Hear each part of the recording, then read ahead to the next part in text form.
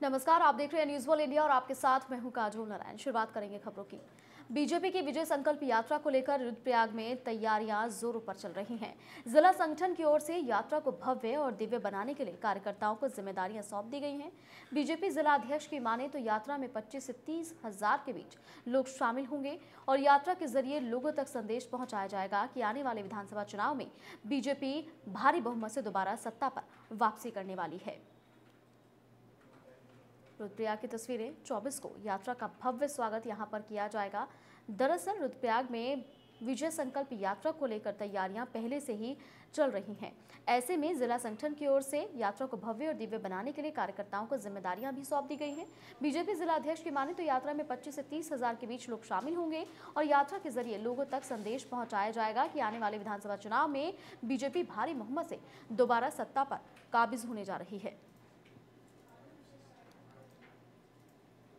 देखो, पूरा उत्तराखंड प्रदेश में विजय संकल्प यात्रा का आगाज़ हो गया है और माननीय राष्ट्रीय अध्यक्ष जी जे पी नड्डा जी ने जो है गढ़वाल रीजन के लिए जो है हरिद्वार से हरी झंडी दिखा करके इस यात्रा को रवाना किया है और ये यात्रा प्रत्येक विधानसभाओं से होकर के गुजरेगी। जिसके तहत जो है 24 तारीख को रुद्रप्रयाग जनपद में यात्रा आने वाली है। इसमें हमारे जो है राष्ट्रीय सचिव मान्य कैलाश विजयवर्गीय जी, पूर्व सांसद बल्लाज पासी जी और हमारे प्रदेश के प्रदेश अध्यक्ष माननीय मदन कौशिक जी और गढ़वाल सांसद माननीय तीरथ सिंह रावत जी और धन सिंह रावत जी, ज्योति प्रसाद गैरोला जी इस यात्रा में रहने वाले हैं। सितारगंज में कांग्रेस के कार्यकर्ताओं ने किसानों का धान का भुगतान और चीनी मिल सीतापुर से संचालित कराने के संबंध में एसडीएम प्रशासन के ज़रिए मुख्यमंत्री पुष्कर सिंह धामी को ज्ञापन भेजा। ज्ञापन में लिखा है कि तीन साल में किसानों का धान का बकाया भुगतान करने के लिए सरकार की तरफ़ से आश्वासन दिया गया था। लेकिन खरीफ सत्र काफ़ी समय पहले खत्म हो चुका है, फिर भी आज तक किसानों की धान की फ़सल का बकाया भुगतान नहीं किया जा रहा है।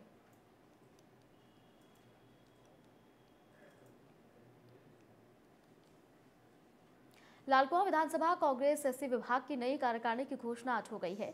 बीते लंबे समय से कांग्रेस एससी विभाग की कार्यकारिणी प्रतीक्षित चल रही थी, जिसको लेकर कई कयास भी लगाए जा रहे थे, लेकिन आज जिला अध्यक्ष इंदपाल आर्य ने कांग्रेस प्रदेश अध्यक्ष की संस्तुति के बाद लालकुआं विधानसभा क्षेत्र की कार्यकारिणी की घोषणा कर दी। बता दें कि कांग्रेस एससी विभाग के जिला अध्यक्ष इंद्रपाल आर्य की अध्यक्षता में आयोजित बैठक में पहुँचे पूर्व कैबिनेट मंत्री हरीश चंद्र दुर्गपाल ने सभी नव मनोनीत पदाधिकारियों को दिशा निर्देश दिए हैं कि आने वाले 2022 के विधानसभा चुनाव को लेकर बूथ स्तर तक जाकर पार्टी को मज़बूत किया जाए।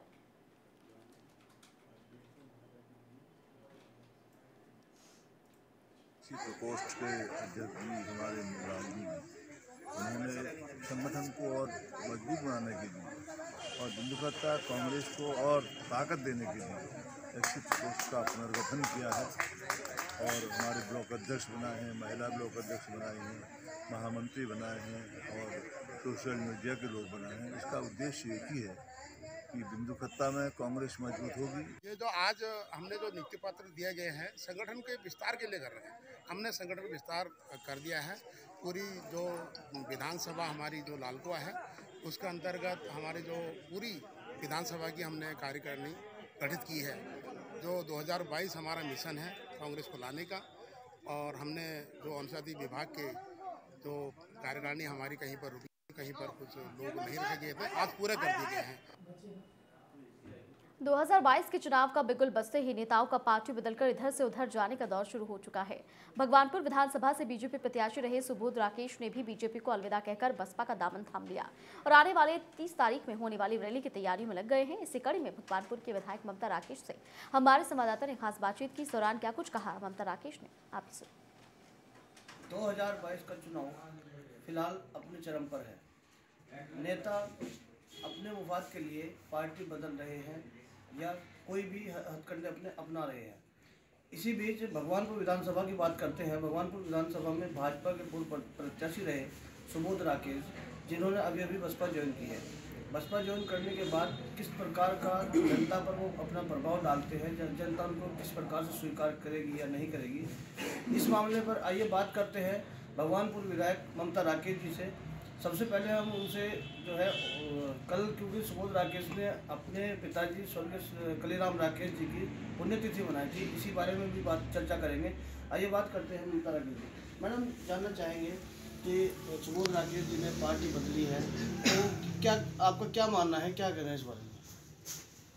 देखिए, सबसे पहले तो आपने मुझे कहा कि सुबोध राकेश जी ने अपने पिताजी स्वर्गीय बाबू कलीराम राकेश जी की पुण्यतिथि मनाई। मैं भी अपने स्वर्गीय बाबूजी कलीराम राकेश जी को अपने सच्चे श्रद्धा सुमन अर्पित करती हूँ। उनके चरणों में कोटि कोटि नमन करती हूँ। आप बात कर रहे हैं कि पुण्यतिथि मनाई अच्छी बात है। हर पुत्र को ये धर्म निभाना चाहिए, अपने पिता की पुण्यतिथि मनानी चाहिए। एक बात बताइए, मैं आपसे पूछना चाहती हूँ। सुबोध राकेश जी अपने निजी स्वार्थों को लेकर के पार्टियाँ बदल रही हैं। 2017 के चुनाव से पहले 2016 में, उन्होंने उस दुख की घड़ी में जब पिता तुल्य उनके बड़े भाई स्वर्गीय सुरेंद्र राकेश जी का, मेरे पति का निधन हुआ, जब उनके साथ की मुझे ज़्यादा आवश्यकता थी, उस समय उन्होंने मेरा साथ छोड़ा और मुझे छोड़ करके भारतीय जनता पार्टी में वो शामिल अब फिर चुनाव सर पे है, अब फिर वो उस पार्टी को भी अलविदा कह रहे हैं। यानी उनके अपने निजी स्वार्थ हैं, उसके चलते वो पार्टियाँ बदल रहे हैं, जैसे कपड़े बदले जाते हैं, इस तरह से वो पार्टियाँ बदल रही हैं। अब एक बात और मैं आपके जहन में लाना चाहती हूँ। सुबोध राकेश जी ने अपने बड़े भाई स्वर्गीय सुरेंद्र राकेश जी के नाम पर भगवानपुर में रामलीला का आयोजन करना शुरू किया। अपने बड़े भाई की याद में रामलीला का आयोजन करते हैं और मात्र तीन साल में ही आप उनसे पूछिएगा, पिछले तीन साल से वो रामलीला का आयोजन नहीं करा रही हैं। क्या भाई की याद खत्म हो गई? और अपने भाई को जो बसपा से निश्चित रूप से चुनाव लड़े लेकिन बसपा से चुनाव लड़ने के बाद वो कांग्रेस को उन्होंने समर्थन दिया और कांग्रेस के साथ रह करके पूरा विकास कार्य उन्होंने ऐतिहासिक विकास कार्य यहाँ पर कराया अगर कलीराम राकेश जी की बात करें तो वो भी कहीं ना कहीं जैसा सुनने में आता है कि वो कांग्रेस से जुड़े रहते थे जुड़े हुए नेता थे। इस बारे में क्या कहना आज सुबोध राकेश जी कह रहे हैं कि मैं अपने परिवार में शामिल हो गया। मैं पूछना चाहती हूँ सुबोध राकेश जी का कौन सा परिवार है बसपा पार्टी? हमारे बाबूजी स्वर्गीय कलीराम राकेश जी और सुबोध राकेश जी के पूज्य पिताजी। बाबू कलीराम राकेश जी कांग्रेस पार्टी में थे और उन्होंने हमेशा कांग्रेस पार्टी का साथ दिया और कांग्रेस के सिंबल पर वो चुनाव लड़े और कांग्रेस पार्टी में रहते हुए ही उनकी मृत्यु हुई। अब सुबोध राकेश जी की बात कहाँ तक कहें? सुबोध राकेश जी ने अपने पूज्य पिताजी के देहावसान के बाद भारतीय जनता पार्टी के बैनर पर उन्हें बिठा दिया। अब सुरेंद्र राकेश जी और हमारे बाबूजी, कलीराम राकेश जी, मेरे पति और मेरे स्वर्गीय ससुर साहब दोनों ने कभी भाजपा का साथ कभी नहीं दिया। अब सुबोध राकेश जी उन्हें कभी तो भाजपा के बैनर पर बिठा देते हैं, कभी उन दोनों को बसपा के बैनर पर बिठा देते हैं। अब बिठा करके उनकी आत्मा को भी कष्ट पहुँचाने का काम कर रहे हैं। स्वर्ग में उनकी आत्मा है दोनों की, और वो वहाँ पर भी उन्हें चैन से नहीं दे लेने दे रहे। जनता की अगर बात करें तो किस प्रकार से जो है जनता उनको स्वीकार करेगी, या क्या राय है आपकी? क्या कहना है इस बारे में? देखिए भगवानपुर की सम्मानित जनता बहुत समझदार है, बहुत जागरूक है। अब फैसला जनता के हाथ में है। मैं तो भगवानपुर की सम्मानित जनता की ऋणी हूँ, आभारी हूँ। जिस तरह से भगवानपुर की सम्मानित जनता ने पूर्व में निर्णय लिया 2015 में और 2017 में, जिस तरह से पूरा सहयोग, प्यार, आशीर्वाद अपना मुझे दिया और मेरी आँखों से उस समय आँसू पहुँचे जब मैं दुख के हताश आगे में डूबी हुई थी। अथा दुख का पहाड़ मेरे ऊपर टूट पड़ा था। और इस समय भी जब परिवार ने मेरा साथ छोड़ दिया सुबोध राकेश जी ने छोड़ दिया उनके पूरे परिवार ने मेरा साथ छोड़ दिया अब भी भगवानपुर की विधानसभा का पूरा परिवार जो स्वर्गीय सुरेंद्र राकेश जी का परिवार था वो परिवार मेरे साथ है और मैं ऋणी हूँ आभारी हूँ भगवानपुर के सम्मानित जनता भी आगे भी जन, आगे भी जनता सोच समझ कर फैसला लेगी और मुझे अपना प्यार अभिषेक को अपना प्यार इसी तरह से देगी जैसे पूर्व। तो ये थे हमारे बीच में ममता राकेश जी, जिनका कहना है कि कपड़े बदलने से, चोला बदलने से कुछ नहीं होगा। जनता को विश्वास दिलाना होगा, जनता को अपने विश्वास में लेना होगा। और जिस प्रकार से ममता राकेश जी का कहना है कि भगवानपुर की जनता हमेशा से उनके साथ है और हमेशा से उन्होंने उनके आँसू पोछने का काम किया है, अभिषेक राकेश को आशीर्वाद देने का काम किया है, आगे भी इसी तरीके का चलता रहेगा। तो अब आने वाला, क्या होगा, ये भविष्य गर्भ में है। 2022 का चुनाव सर पर है और आने वाले टाइम में जनता क्या निर्णय लेती है, ये देखने वाली बात होगी। अपने साथी आशु मलिक के साथ न्यूज़ वर्ल्ड के लिए भगवानपुर से तोसी। अटल आयुष्मान योजना के अंतर्गत पौड़ी के श्रीनगर में आरोग्य संवाद कार्यक्रम का आयोजन किया गया। आयोजित कार्यक्रम में बतौर मुख्य अतिथि, स्वास्थ्य शिक्षा मंत्री डॉक्टर धन सिंह रावत ने शिरकत की। कार्यक्रम में स्वास्थ्य मंत्री ने आयुष्मान योजना को लेकर सभासदों, मेडिकल कॉलेज के डॉक्टर्स समेत मीडिया कर्मियों से सुझाव लिए। इस दौरान 25 से ज़्यादा लोगों ने अटल आयुष्मान योजना को लेकर अपने विचार रखे हैं। साथ ही स्वास्थ्य सुविधाओं को दुरुस्त करने की बात स्वास्थ्य मंत्री के सामने रखी। स्वास्थ्य मंत्री डॉक्टर धन सिंह रावत ने कहा कि अब तक प्रदेश में चार लाख से ज़्यादा लोग आयुष्मान योजना का लाभ ले चुके हैं। पाँच करोड़ रुपए अब तक इस योजना के तहत खर्च किए जा चुके हैं। पौड़ी की तस्वीरें, आरोग्य संवाद कार्यक्रम का यहाँ पर आयोजन किया गया, जिसमें मंत्री के सामने तमाम बातें रखी गई। स्वास्थ्य मंत्री डॉक्टर धन सिंह रावत ने कहा है कि अब तक प्रदेश में चार लाख से ज़्यादा लोग आयुष्मान योजना का लाभ ले चुके हैं। ऐसे में लगातार पाँच करोड़ रुपए अब तक इस योजना के तहत खर्च किए जा चुके हैं। भारत के तहत हमने एक आरोग्य संवाद कार्यक्रम यहाँ पे रखा था, जिसमें कि जितने हमारे बेनिफिशरी लोग हैं, उनको भी बुलाया गया था, पत्रकार लोगों को बुलाया गया था, समाज के सभी वर्गों को लोगों बुलाया गया था और बहुत अच्छा है कि लगभग 25 लोगों ने आज यहाँ पे सुझाव दिया और हमने आयुष्मान भारत में एक रिकॉर्ड बनाया है उत्तराखंड राज्य ने कि अभी तक चार लाख से ज़्यादा लोगों का हम इलाज करा चुके हैं, पाँच करोड़ रुपए इस योजना में खर्च हो चुके हैं। और आपने देखा होगा कि जिन 11 लाभार्थियों को हमने यहाँ पे बुलाया था, वो तो इतने खुश थे कि उन्होंने दूसरा जीवन उनको मिला है। उत्तराखंड में आने वाले 2022 के विधानसभा चुनाव को लेकर हरिद्वार की खानपुर विधानसभा सीट से बीएसपी प्रत्याशी चौधरी रविंद्र से हमारे संवाददाता ने खास बातचीत की इस दौरान उन्होंने क्या कुछ कहा, वो भी आप सुनिए।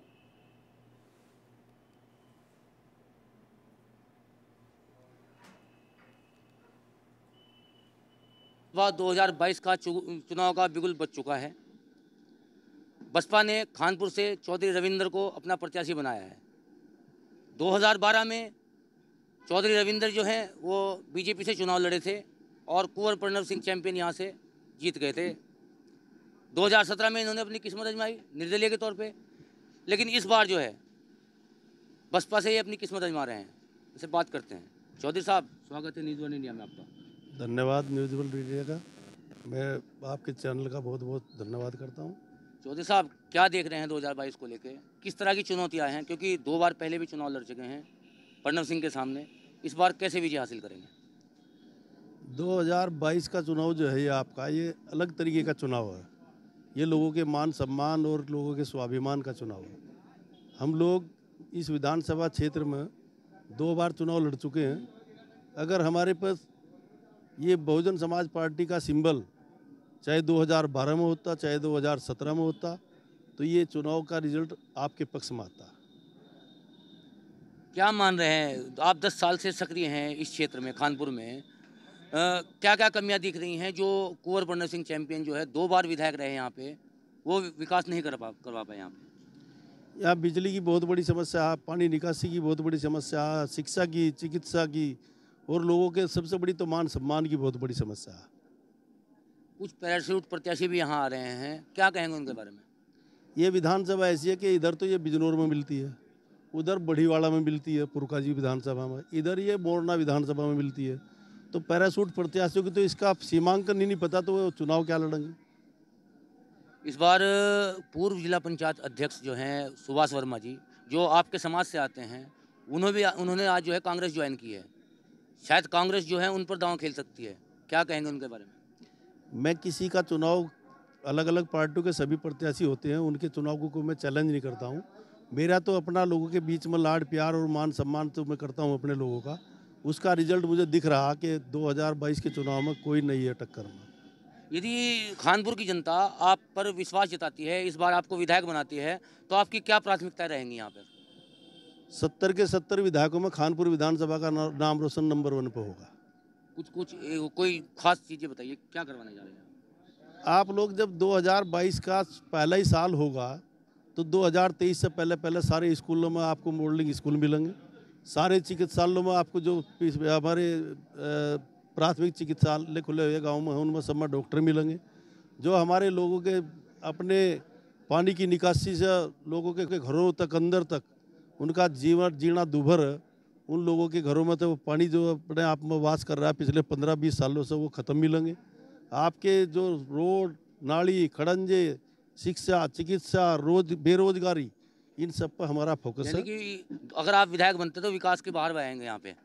कोई समस्या रहने की धन्यवाद। तो ये थे हमारे साथ चौधरी रविंदर जी जो खानपुर से बसपा के प्रत्याशी हैं। इनका साफ़ तौर से कहना है यदि 2022 में जनता इन पर विश्वास दिखा जताती है तो ये खानपुर का चहुमुखी विकास करेंगे। Mohammad Azim News World India Haridwar Khanpur. Srinagar के गढ़वाल विश्वविद्यालय में जनसंवाद कार्यक्रम का आयोजन किया गया। आयोजित कार्यक्रम में प्रदेश के मुख्यमंत्री पुष्कर सिंह धामी ने शिरकत की। कार्यक्रम में पौड़ी के ग्राम प्रधानों के साथ मुख्यमंत्री को संवाद करना था, लेकिन समय की व्यवस्था के चलते मुख्यमंत्री ग्राम प्रधानों को संबोधित करने के बाद देहरादून लौट गए, जिससे ग्राम प्रधानों में खासा नाराज़गी देखने को मिली। ग्राम प्रधानों का कहना है कि वो दूर दराज से अपने क्षेत्र की समस्याओं से मुख्यमंत्री को अवगत कराने के लिए कार्यक्रम में पहुँचे थे, लेकिन सीएम भाषण देकर चले गए। तो पौड़ी की तस्वीरें, जनसंवाद कार्यक्रम यहाँ पर रखा गया था। सीएम धामी ने शिरकत लेकिन ग्राम प्रधानों से बातचीत नहीं कर पाए जिससे खासा रोष ग्राम प्रधानों में देखने के लिए मिला। मुख्यमंत्री जी को लिखिए दे दिया, समस्या बताने के टाइम कितना था मुख्यमंत्री टाइम भी बहुत कम दिया। ये भी तो सोचो ना टाइम कितना दिया मुख्यमंत्री हम सुबह बारह बजे से यहाँ बैठ गए। क्या व्यक्तिगत तौर पे हम बता नहीं सकते थे। सीएम साहब तो अपने बता के चले गए अपना बता के चले गए, पर प्रधानों की जो समस्याएँ वो तो जैसी की जैसे वैसी पड़ी हैं। बड़े इंतजारे से आए थे। और सुबह लगभग दूर दराज से आ रखे हैं। मैं यम किशोर विधानसभा से आ रखा हूँ। और हम लगभग साढ़े छः बजे से पहले घर से निकल गए थे। यही हमारे बीच उत्सुकता थी कि माननीय मुख्यमंत्री जी हमें सम्मानित करेंगे। हमारे लिए गौरव का पल था और हम इसी इरादे से आए थे लेकिन माननीय मुख्यमंत्री जी हमें आधे में धन्यवाद देकर चले गए। ये हमारे लिए चिंता की क्या अच्छा लगा कि धामी जी जैसे मुख्यमंत्री ने चलो ये कहा कि प्रधानों का ख्याल ख्याल रखा कि आइए हमसे बात हम बात करेंगे दो घंटे एक घंटे बात करेंगे। लेकिन दुख ये होता है कि जब दूर दूर से ग्राम प्रधान जब यहाँ पे आए किस तरह से सुबह नहाए धोए ठंड में आए कैसे कैसे यहाँ पहुँचे अपने गाड़ी से पहुँचे कैसे पहुँचे उसके बाद आने के बावजूद जब प्रधान इकट्ठे हो गए तो चार से घंटे के बाद जब उनसे मीटिंग ली गई, जब धामी जी वहाँ पहुँचे तो सिर्फ़ पाँच से आठ मिनट आठ मिनट से ऊपर नौ मिनट हुए और वहाँ से बिना ढंग से उनसे बात किए हुए निकल गए। नैनीताल पहुँचे पर्यटन, सिंचाई और संस्कृति मंत्री सतपाल महाराज का बीजेपी कार्यकर्ताओं ने फूल मालाओं से भव्य स्वागत किया। सतपाल महाराज ने नैनीताल में ललित कला अकादमी, भारत सरकार और सांस्कृतिक विभाग उत्तराखंड के सहयोग से राष्ट्रीय चित्रकला शिविर में पहुंचकर दीप प्रज्वलित कर कार्यक्रम का शुभारंभ किया। इस दौरान महाराज ने पर्यटन और सिंचाई विभाग की उन्नीस करोड़ चौवालीस लाख बयानवे हज़ार की कई योजनाओं का लोकार्पण और शिलान्यास भी किया। नैनीताल की तस्वीरें। ललित कला अकादमी का यहाँ पर उद्घाटन किया गया है। इसकी आधारशिला रखी गई है। उन्नीस करोड़ चौवालीस लाख, बानवे हज़ार के अंदर ये हमने बहुत से कामों का लोकार्पण किया है और आगे भविष्य में हमारा ये प्रयास होगा कि माननीय मुख्यमंत्री जी से भूमि प्राप्त करने के बाद हम यहाँ उत्तराखंड में ललित कला अकेडमी को स्थापित करें ताकि यहाँ के कलाकारों को आगे बढ़ने का सौभाग्य मिले और उनकी जो प्रतिभा है वो आगे प्रकट हो तो इसके लिए पूरे प्रयास किए जाए। हरिद्वार विधानसभा चुनाव में कांग्रेस पार्टी का टिकट पाने के लिए नेताओं को परीक्षा देनी पड़ रही है। इसके लिए पार्टी हाईकमान ने स्क्रीनिंग कमेटी का गठन किया। स्क्रीनिंग कमेटी ने आज हरिद्वार में पंद्रह विधानसभाओं से टिकट मांगने वाले दावेदारों का इंटरव्यू लिया। बड़ी संख्या में दावेदार हरिद्वार पहुँचे। आपको बता दें कि हरिद्वार की ज्वालापुर विधानसभा से ऐसे दावेदार निकले जिन्होंने राजनीति में आने के लिए अपनी सरकारी नौकरी छोड़ दी, लेकिन चुनाव लड़ने के लिए इन्होंने रिटायरमेंट के छह महीने पहले वीआरएस ले लिया।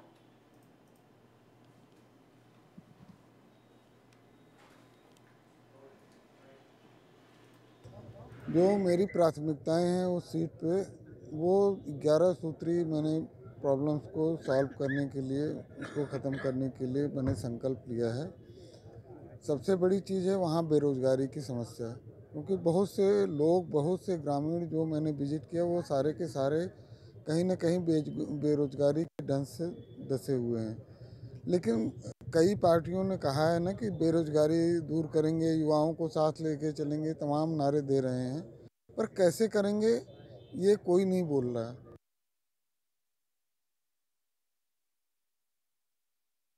के तत्वाधान में निर्माणाधीन खेल मैदान को अंबेडकर पार्क बनाने, सामुदायिक भवन बनाने। धरना स्थल निर्माण के संबंध में एसडीएम कालाडूँगी को ज्ञापन सौंपा गया। ज्ञापन के ज़रिए एससी, एसटी कमीशन और केंद्र सरकार को भी अवगत कराया गया है। बीएसपी के कार्यकर्ताओं का मानना है कि यहाँ पर बयालीस से ज़्यादा अनुसूचित जनजाति के लोग रहते हैं। खेल स्टेडियम की अवधारणा अनुसूचित जाति के विकास में बाधा डाल रही है, जिसके चलते अन्य वर्ग के लोगों की तरफ़ से उनको लगातार दबाया जा रहा है।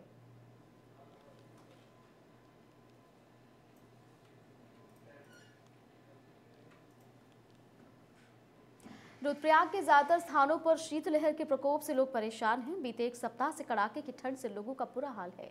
सुबह से शाम तक चल रही शीतलहर से लोगों की मुश्किलें और ज़्यादा बढ़ रही हैं। वहीं नगर पालिका और नगर पंचायतों की ओर से खुद के संसाधनों से अलाव जलाकर लोगों को ठंड से राहत दिलाने का प्रयास भी किया जा रहा है।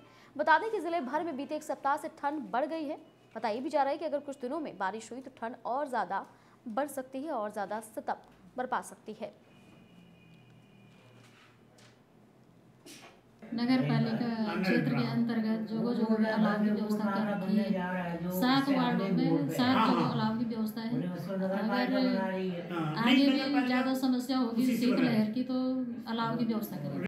शीतलहर के प्रकोप को देखते हुए नगर क्षेत्र में कुल छः जगहों में अलाव की व्यवस्था की गई है जिसमें कि हमारा संगम मकड़ी बाज़ार मेन मार्केट बस अड्डा बाईपास इन जगहों पे अलाव की व्यवस्था की गई है। रायवाला थाना पुलिस ने एक युवक को गांजे की तस्करी करने के आरोप में गिरफ़्तार किया। वहीं पुलिस ने युवक से बरामद स्कूटी के अंदर एक किलो 360 ग्राम गांजा बरामद किया है। पुलिस ने आरोपी के खिलाफ संबंधित धारा में मुकदमा दर्ज कर लिया। पूछताछ में युवक ने बताया कि कम समय में ज़्यादा रुपए कमाने के लालच में उसने मादक पदार्थों की तस्करी करनी शुरू कर दी थी। फ़िलहाल पुलिस ने गिरफ़्तार कर अभियुक्त को जेल भेज दिया है।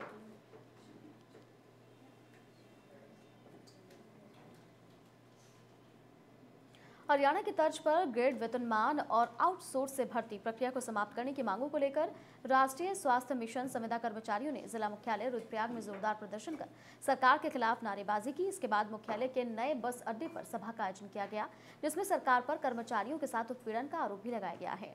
बता दें कि राष्ट्रीय स्वास्थ्य मिशन संविदा कर्मचारी अपनी दो सूत्रीय मांगों को लेकर कार्य बहिष्कार कर रहे हैं उनका कार्य बहिष्कार सोलहवें दिन भी जारी रहा और उन्होंने जिला मुख्यालय में रैली निकालकर जोरदार प्रदर्शन कर सरकार के खिलाफ जमकर नारेबाजी भी की है। हमारा जो धरना चल रहा है सोलह दिन आज हो गए हैं और ये दो सूत्रीय मांगों को लेकर हमारा धरना प्रदर्शन लगातार जारी है। इसमें अभी तक सरकार ने कोई सुध नहीं ली है। हालाँकि इस पर जो हमारी राज्य कार्यकारिणी है, उसने ज़रूर मिशन निदेशक से वार्ता की है, लेकिन उस पर भी हमें अभी तक कोई लिखित सहमति नहीं मिली है। मिशन निदेशक महोदय ने केवल मौखिक आश्वासन दिए हैं, उस पर ये जो आंदोलन है, वापस लेना नामुमकिन बढ़ते शहरीकरण के कारण कूड़ा पूरे देश के लिए परेशानी का सबब बन रहा है। लेकिन चमोली के कर्णप्रयाग नगर पालिका ने इसका हल निकालकर दूसरी नगर पालिकाओं के लिए एक मिसाल भी पेश कर दी है। नगर पालिका कर्णप्रयाग ने 2013 से अब तक बीते नौ सालों में कूड़ा बेचकर 14 लाख रुपए की आय हासिल कर ली है, जिससे कर्णप्रयाग नगर पालिका के इन दिनों खूब वाहवाही हो रही है। हमने अभी डोर टू डोर कलेक्शन में जो है मैंने ग्यारह सब पर्यावरण मित्र लगाए गए हैं और ये है प्रत्येक घर से ये कूड़ा उठा के यहाँ जो है लाते हैं। उसके बाद हमारी जो कूड़ा जो है, आपके सामने जो लग रखी है कॉम्पिटिव से छटाई करते हैं हम। छटाई करने के बाद हमारे द्वारा जो है, अभी तक जो है, चौदह लाख की जो है इनकम प्राप्त हो चुकी है और ग्यारह ग्यारह जो है पर्यावरण मित्रों को रोज़गार भी मिल रहा है। कॉम्पैक्ट मशीन जो है 2013 में लगी थी और इससे पालिका को आज तक 2013 से आज तक की जो कमाई हुई है 14 लाख रुपए हमें प्राप्त हो चुका है इस कूड़े से। ये जैविक और अजैविक जो कूड़ा दो प्रकार का होता है, इससे पर्यावरण को जो लोग कूड़ा ऐसे फेंक देते हैं, बिखेर देते हैं उससे नुकसान होता है। हमने सोचा कि पर्यावरण बचाने के लिए हम इसका क्यों न सदुपयोग किया जाए। पिछले दिनों से चमोली के कई विकास खंडों में लगातार भालुओं का आतंक देखने को मिल रहा है। लोग बड़ी संख्या में लगातार जख्मी होकर जान बचाते हुए नज़र आते हैं। विकासखंड थराली के रुईसान ग्राम पंचायत में पिछले दिनों में सात लोगों पर भालुओं ने हमला कर बुरी तरह से घायल कर दिया, जिसमें दो लोगों का अभी भी अलग अलग अस्पतालों में इलाज चल रहा है। बता दें कि आज फिर रुईसाण में भालुओं ने एक युवक और एक महिला पर हमला कर लहूलुहान कर दिया, जिसके बाद परिजनों और ग्रामीणों ने घायलों को थराली सामुदायिक स्वास्थ्य केंद्र में इलाज के लिए पहुँचाया। बता दें कि अभी तक वन विभाग की तरफ़ से इस पूरे मामले में कोई कार्रवाई नहीं की जा रही है। यहाँ पे जो आए दिन भालू का आतंक हो रहा है। आज भी जो ताज़ा घटना हुई है, इसमें एक युवक और एक महिला, जो कि भालू ने जख्मी किया है गंभीर रूप से और उनका भी जो है कि नज़दीकी स्वास्थ्य केंद्र थराली में एडमिट किया गया है। पहले भी ये एक दो महीने के बीच में ही यहाँ पे जो आठ नौ घटनाएँ हुए हैं, उसमें भी जो लोग जख्मी थे गुदाली राम जी और लखपत राम जी वो अभी भी हायर सेंटर में एडमिट हैं और ये जो भालू का आतंक बना हुआ है, इससे लोग घरों से बाहर नहीं निकल पा रहे। सोल क्षेत्र में रिसाण ग्राम पंचायत के अंतर्गत ये पांचवी घटना एक महीने के अंदर घटी है और जो कि बहुत दुर्भाग्यपूर्ण बात है कि आज तक भी वन विभाग इसमें कोई कार्रवाई करने को तैयार नहीं हुआ है। और हम मांग करते हैं पूरे इस चैनल के माध्यम से और सरकार से मांग करते हैं कि अगर भालू ने इंसान को तो हमें भी परमिशन दी जाए ताकि हम भालू को हम लोग मार सकें। चमोली के दूरस्थ और तहसील स्तर जनता की शिकायतों को सुनने और उसका समाधान कराने के शासन के निर्देशों का असर दिखने लगा है। चमोली के विकासखंड नंदानगर में आयोजित तहसील दिवस में बड़ी संख्या में जनता अपनी शिकायतें और समस्याएँ लेकर पहुँची, जिसमें एक दिन में इकसठ शिकायतें दर्ज की गई। मुख्य विकास अधिकारी वरुण चौधरी ने फरियादियों की समस्याएँ सुनी है, जिनमें से छियालीस शिकायतों का मौके पर ही निस्तारण किया गया है।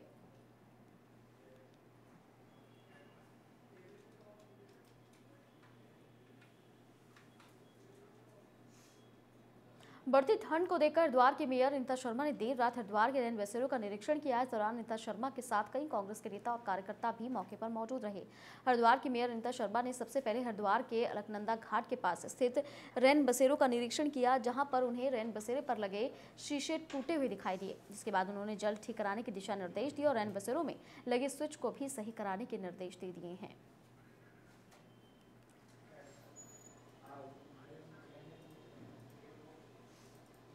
मंगलौर में महीनों से धरने पर बैठे किसानों की मांग पूरी होने के बाद सभी राज्यों के किसान अपने घर लौट आए।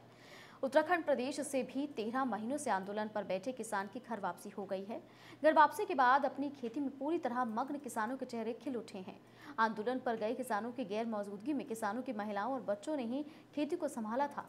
आपको बता दें कि मंगलौर क्षेत्र किसान बाहुल्य क्षेत्र है। सैकड़ों की संख्या में उत्तराखंड के किसानों ने कृषि बिल कानून के विरोध में दिल्ली में बैठ आंदोलन में हिस्सा लिया था।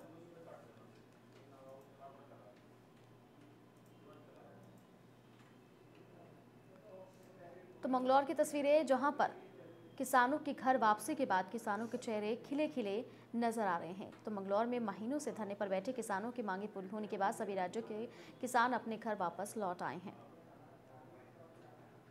अभी तेरह महीने तक हमारा दिल्ली के बॉर्डरों पर आंदोलन चला और हमारे 700 किसान लगभग उसमें शहीद हुए। बड़ा संघर्ष किसानों ने एक दिल्ली में किया, केंद्र सरकार के खिलाफ और उसमें विजय हासिल हुई देश के किसानों को। तो ये जो खेती का काम अभी यहाँ चल रहा है, दिल्ली में वेस्ट होने के कारण खेती पर किसानों का उतना ध्यान नहीं दे पाए, जितना किसानों को खेती पर ध्यान देना चाहिए था, क्योंकि बॉर्डरों पर किसानों का ध्यान ज़्यादा रहा। कभी भी बॉर्डरों की कॉल आ जाती, किसानों को तुरंत बॉर्डरों के लिए रवाना होना पड़ा था। आप बने रहिए न्यूज़ वन इंडिया के साथ।